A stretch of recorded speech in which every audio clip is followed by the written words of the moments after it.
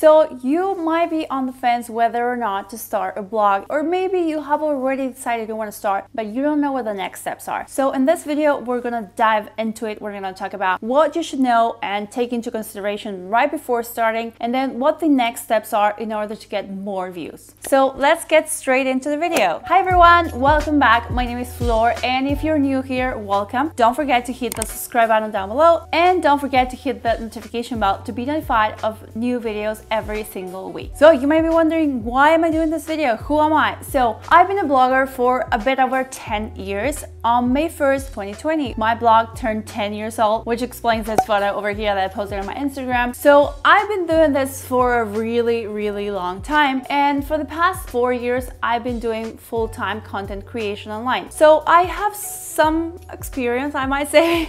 So I want to help you if you're just getting started. First of all, maybe you're not still sure whether or not you should start a blog or not. So first, let me give you three reasons why you should absolutely go for it and start that blog. First of all, don't think if a blog is something like old style. Blog is maybe a name that sort of like appear like 10 or 15 or 20 years ago. But the truth is that a blog is still a site. And if you want to create an online presence and if you want to work creating content online, you should have a site. And the blog is a perfect opportunity for that. It's a place where you can share, where you can post, where you can write, where you can post images. It's a place where you can be totally yourself. So you should totally go for it. Second of all, a blog is a place that is entirely yours. No one else controls your blog. You don't have any algorithms, you don't have any apps like can just like disappear anytime. No, it's all yours. You can decide what appears first, what appears second, what goes on, when you publish, when you don't publish. So that's amazing. And the third reason why you should start a blog, and especially right now, it's because even though you might be thinking, oh, it's too late, people started like 10 years ago or whatever. No, it's not not too late. It's like never too late. And especially right now, a lot of people are not publishing on their blogs because maybe they moved to YouTube or maybe mostly to Instagram. So it's now the perfect time to actually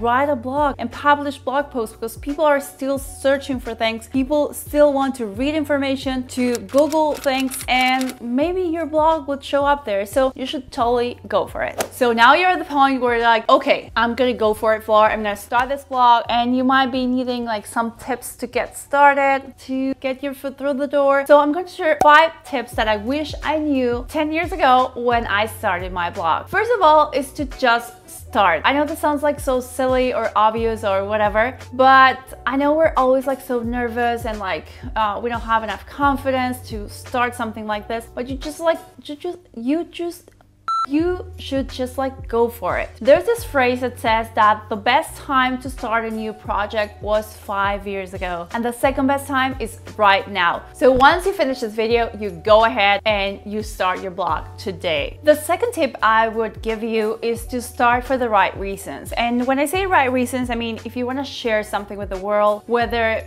you're a lover about fashion, about beauty, travel, whether you're a doctor and you want to share what the experience of being a doctor is like, or you want to share tips about photography, nature, about the city you live in. Whatever that is, just start your blog because you want to write about that. You want to share with the world, with the online community about everything that you know, things that you think people would like be interested in reading. And when they say right reasons, you might think, well, what are the wrong reasons, you know? So maybe if you follow some bloggers or content creators, you might see them like going on press trips or getting like free stuff or getting like paid campaigns. And the truth is that starting a blog might take you there. But it takes a really, really long time. It took me four years, and I'm not even kidding, four years to get an actual paid campaign since starting my blog. So you might be blogging for a year, two, three, four, or maybe even more before actually getting into either a gift campaign, a paid campaign, or even a press trip. So if you're starting because you want to get something in return, you're gonna get really frustrated because those things might not come fast enough. And if you get frustrated, you're probably gonna abandon your blog, you're gonna stop writing. So I'm like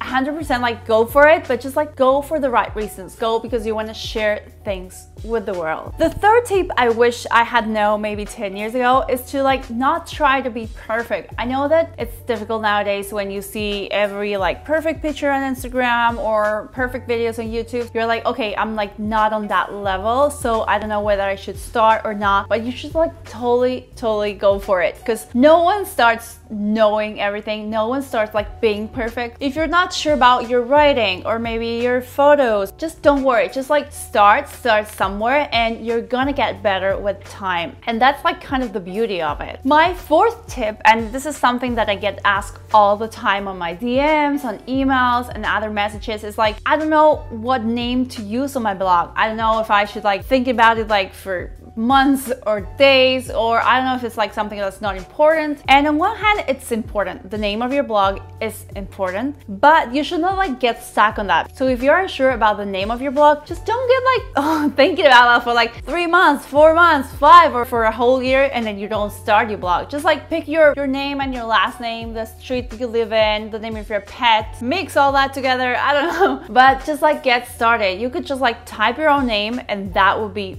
perfect. You can change your name like in a year or two years time or wherever you feel like doing that. So don't worry too much about that and just start. And the fifth tip that I want to give to you is to enjoy the process and to celebrate every milestone. And what I mean about this is that you should celebrate every single new follower that joins your blog, that is reading your blog. If someone comments, celebrate that. If you hit 100 blog posts, you celebrate that. If you hit 200 blog posts, you celebrate that as well. If your blog turns one year old or two two years old, you go ahead and celebrate that. Because in the end, these little like milestones are the little things that make up to the whole picture. So now you're very pumped up. You're almost decided. You're like, I'm going for it, Flor. I'm going for it. I'm going to start my blog. So I'm going to end this video by giving you five practical tips that you should be applying right now as soon as you finish watching this video to start your blog. First of all, you're thinking maybe about platforms. So I want to recommend you four different platforms. Two of them I've used, two of them I haven't, but they are pretty good and everyone talks about them. So I started my blog back in Blogger, blogger.com. That place still exists. You can start your blog over there. It's like pretty basic and doesn't have like much to like play around and personalize it, but it's okay to get started and it's free. Then I moved to WordPress, which I absolutely recommend, but it's like a bit more difficult, a bit more like serious and a bit pricier because there are like certain things you have to pay. So I would say maybe move to WordPress like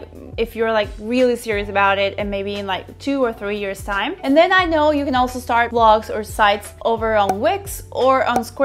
So maybe Google all those platforms and pick the one you think works best for you. Just don't get crazy at the beginning about your own domain or about hosting or about like really expensive paid plans. Just get started on something either free or really inexpensive and see how that goes. Second practical tip has to do on how to gain more visits. Of course, your blog is new and you want people to visit it. So you should pay really close attention to what you put in your title and what words you use as tags. So for example, if you're writing about your experience traveling across Europe, backpacking, it's great if you say how to backpack through Europe and that should be the title of a blog post. But you should not do like my trip in 2019 because like no one's gonna Google my trip in 2019, but people are going to Google how to go backpacking through Europe. So maybe think about that every time you start a new blog post, how to maybe write the name of your blog post as question you would ask and answer that question on your blog post. And you can also use tags and you can like sort of like organize your content within your blog and link all your posts like everywhere. So for example, if you're talking about a trip that took 10 days and you're writing one blog post per each day, you should link the other blog posts at the beginning and at the end so you can like take people to your other blog posts. So in this way, when someone like stumbles upon your blog, they can like keep on reading, they can keep on seeing your content, which is what you want in the end. A third thing has to do with images. Images are so, so important, like help tell your story. So you might be like unsure about that. Maybe you don't have a great camera or maybe you don't have a camera at all. So first of all, your phone is great. Phones nowadays are amazing and they all have amazing cameras. So you should not worry about not having a proper camera. You could like totally use the camera in your phone. But maybe if you don't even have that, or maybe if you're not sure about the photos you're taking, there are a lot of sites that have amazing, amazing resources, amazing images online that you can use totally for free. Some of these sites are Unsplash, Burst, Pixabay, and Pexels. I'm gonna be linking all of them down below and you can like totally check them out. They have the most amazing images and they have like a lot of like different options you can choose from. So that's amazing. And you can use those images on your site for free. My fourth tip is to be consistent. And what I mean by being consistent is that you don't have to publish every single day. I mean, if you can't totally go for it, but it's not an obligation. But you should be posting like regularly, either once a day, once a week, two, three times a week, so people can expect new content. Because like, imagine you go into a blog, you discover someone's post for from let's say 2018, and when you hit like home, you see that this person has not been updating the blog for the past year or for the past like six months. You maybe don't want to read that blog anymore because like you know this person is like not working on it, or this person is like just like abandoned it. So work on it, work on your blog post. I know at the beginning I did like one blog post per day or maybe two per day, which was like a lot, but everyone's like doing that. But now if you do at least one blog post every week or maybe two per week, that should be okay. And the fifth and last practical tip is that you should be sharing your content everywhere because you're the best person for it. So you should be sharing your content with your friends through iMessage, through WhatsApp, through Twitter, through Facebook, Instagram, whatever you feel like, you should be sharing your new blog post. If someone says, hey, how was your experience backpacking in Europe last year? You're like, you know what? I have a blog post about it. So let me send a link to that. So try to take every opportunity you have to share your content, to say to people, hey, I wrote about that on my blog. So let me send a link to that. You are the best person for it. You are the best person to be like shouting out the roof, hey, there's a new blog post. So you should totally go for it. If you don't promote your own content, nobody else will. And that's the truth.